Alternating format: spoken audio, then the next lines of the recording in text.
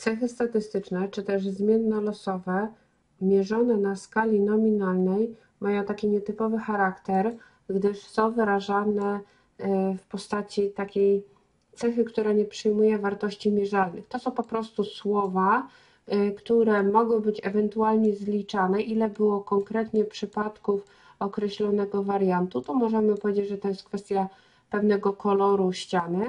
Jeżeli tu jest określona kolumna, ile było takich przypadków, takiej konkretnie wartości wariantu e, cechy, to można oczywiście określić prawdopodobieństwo wystąpienia danego wyniku we wśród wszystkich analizowanych wyników. Jest to liczone jako to prawdopodobieństwo jako liczba tych wybranych przypadków w porównaniu do sumy wszystkich analizowanych przypadków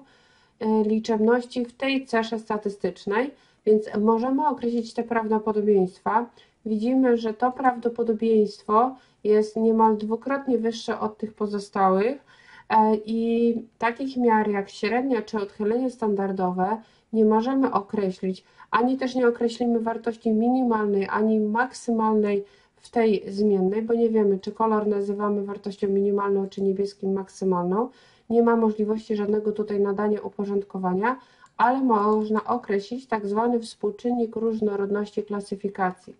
To jest pewien y, wzór, tutaj zapisany w tym miejscu, który pozwala nam określić, czy możemy mówić, że rozkład tych trzech kolorów w pewnej zbiorowości analizowanej możemy uznać za bardziej równomierny, a może jednopunktowy.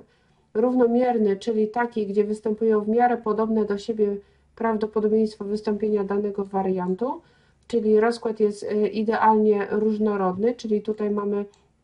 bardzo podobne do siebie te e, liczebności występowania, czy jednak rozkład jest jednopunktowy, czyli ta sytuacja, kiedy e, jedna kategoria występuje bardzo często, a pozostałe prawie przy jej poziomie nie występują, więc e, możemy tutaj, cofając, skorzystać ze wzoru na miarę właśnie różnorodności klasyfikacji. Jest to liczone jako 1 minus suma prawdopodobieństw każdego z tych tutaj zapisanych wariantów, które należą do danej zmiennej e, losowej czy też do cechy statystycznej, e, ale podniesione do kwadratu, czyli przed sumowaniem każde z tych prawdopodobieństw, które tutaj występuje, musi zostać podniesione do kwadratu, a na końcu sumowane. Można najlepiej to wykonać w formie tabelarycznej, gdzie każde z prawdopodobieństw jest podniesione oddzielnie do kwadratu,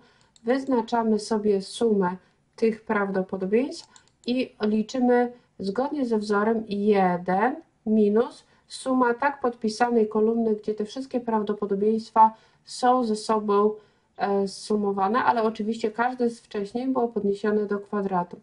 Ten współczynnik klasyfikacji różnorodności jest gdzieś pomiędzy 0 i 1,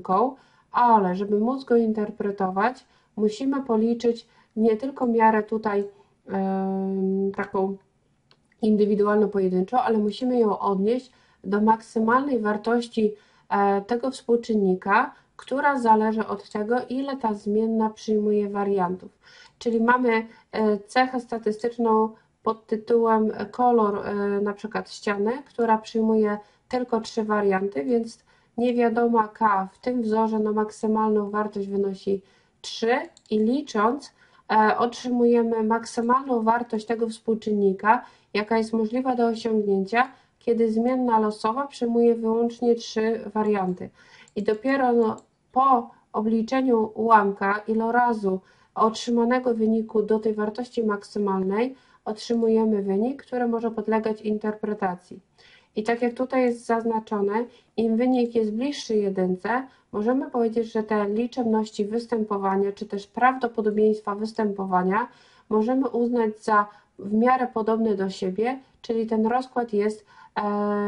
dość różnorodny. Jeżeli tutaj zmienię liczby i pokażę e, zdecydowaną różnicę między prawdopodobieństwem, e, czy tutaj liczebnością e, zdecydowanie przekraczającą pozostałe, możemy uzyskać wynik, który będzie nam wskazywał na tak zwany rozkład jednopunktowy. czyli taki rozkład, gdzie jakiś wariant zdecydowanie dominuje, czyli jest najczęściej występującym lub o najwyższym prawdopodobieństwie na tle pozostałych wariantów. Także wzór jest bardzo praktyczny i pozwala nam ocenić różnorodność liczebności czy też prawdopodobieństw w przypadku zmiennej mierzonej na skali nominalnej.